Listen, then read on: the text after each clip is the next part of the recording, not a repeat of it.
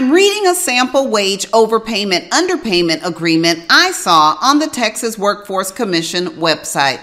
This is the second video in a series where I examine sample employment forms and provide my advice and suggestions on how to best utilize those forms to protect your company.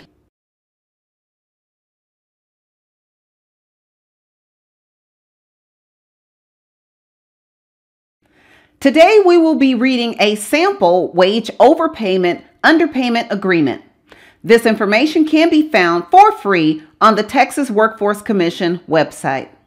This video is a part of a series where I examine these sample forms and I wanted to just say that anyone can use these forms, although it is on the Texas Workforce Commission. Here is my advice for anyone who lives outside of Texas who would like to create a similar form for their company.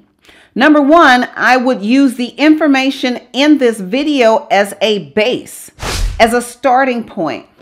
Then second, I would compare the laws in the state where your business resides, and then I would insert that information. Finally, and I can't stress this enough, you need to consult with a licensed employment attorney in the area wherever your business resides. Let them review the documents, and then I would go from there. This sample wage overpayment underpayment agreement is used in conjunction with the wage deduction authorization agreement I did a review of that sample document and I will put a link to that video right here. Let's get started. This bears repeating. I am reading a sample wage overpayment underpayment agreement and I found this on the Texas Workforce Commission website. Wage overpayment underpayment policy. This is general information about wage overpayments as noted in the article uh, the Texas Payday Law Basic Issues.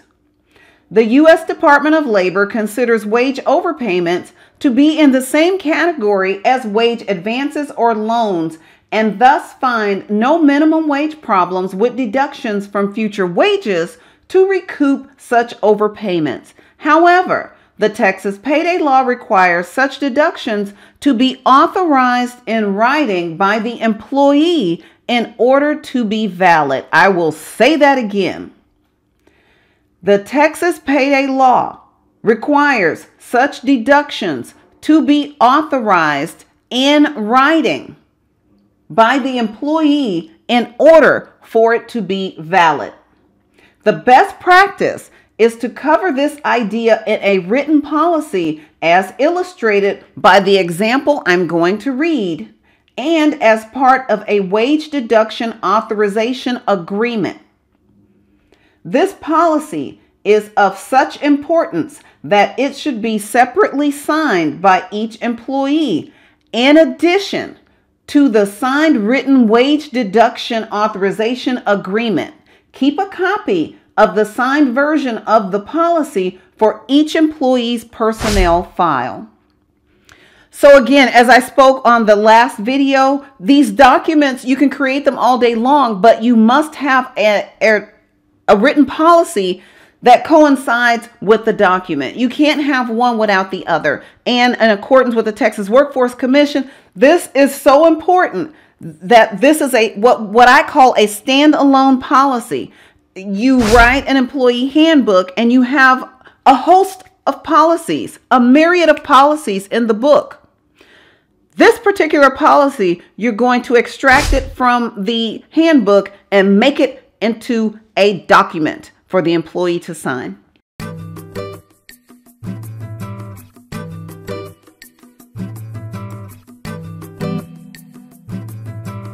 Now let's start reading the actual policy. The company takes all reasonable steps to ensure that employees receive the correct amount of pay in each paycheck and that employees are paid promptly on scheduled paydays. In the unlikely event that there is an error in the amount of pay, the employee should promptly bring the discrepancy to the attention of the general manager or payroll manager so that corrections can be made as quickly as possible. If the employee has been underpaid, The company will pay the employee the difference as soon as possible. If the employee has been paid in excess of what he or she has earned, the employee will need to return the overpayment to the company as soon as possible. No employee is entitled to retain any pay in excess of the amount he or she has earned according to the agreed upon rate of pay. If a wage overpayment occurs, the overpayment will be regarded as an advance of future wages payable and will be deducted in whole or in part from the next available paycheck or paychecks until the overpaid amount has been fully repaid. Each employee will be expected to sign a wage deduction authorization agreement authorizing such a deduction. I understand this policy and agree to its terms.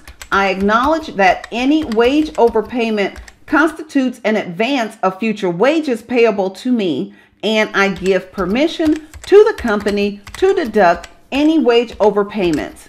Choose one in full or in installments of X amount of dollars at a time from any subsequent paycheck to which I become entitled until the overpaid amount has been fully repaid. And then there is a signature for the employee and a date. I would also include a line for the employee's printed name where they can print their name. And I would sign off on that with my company uh, representative, have them sign and date the document as well. And underneath the signatures, it says, We ask that employees realize that pay errors are not intentional and that employees be understanding if such an event occurs.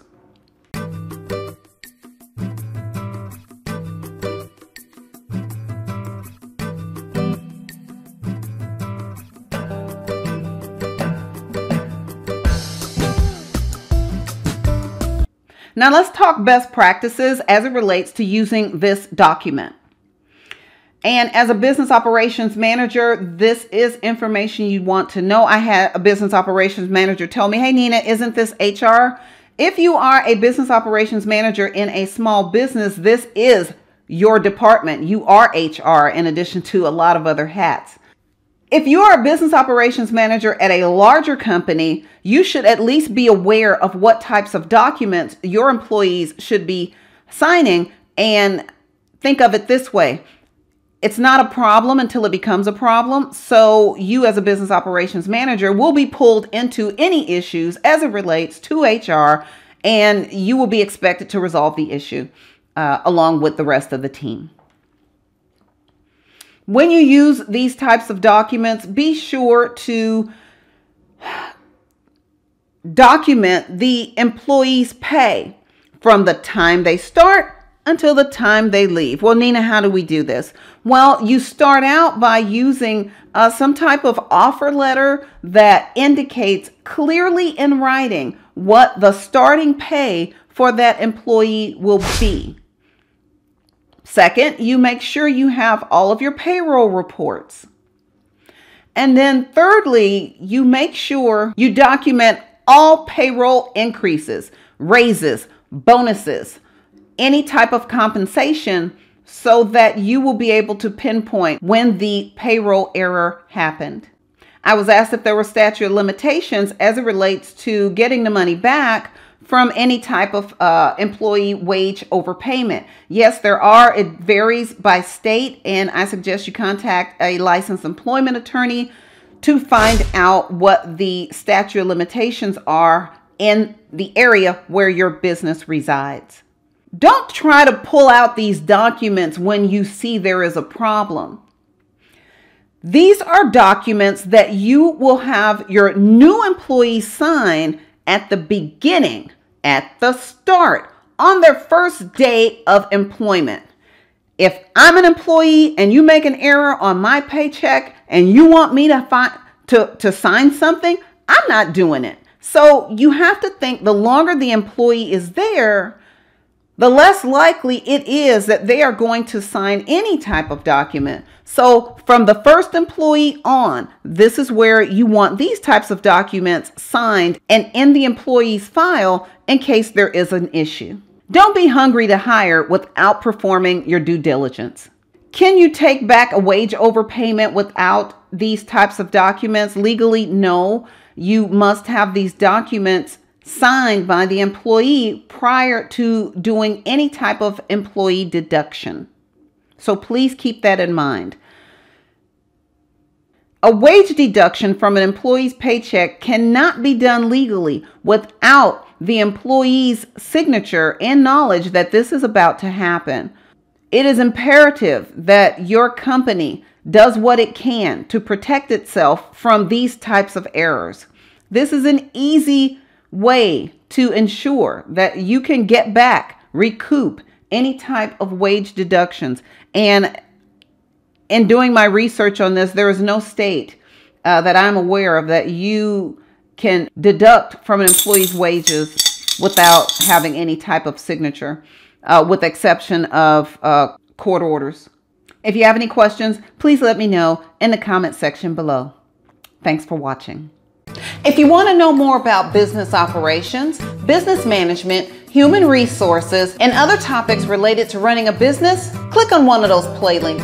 Click on one of these play click on the playlist. One eternity later. Click on one of these playlists. Thanks for watching. And don't forget to subscribe.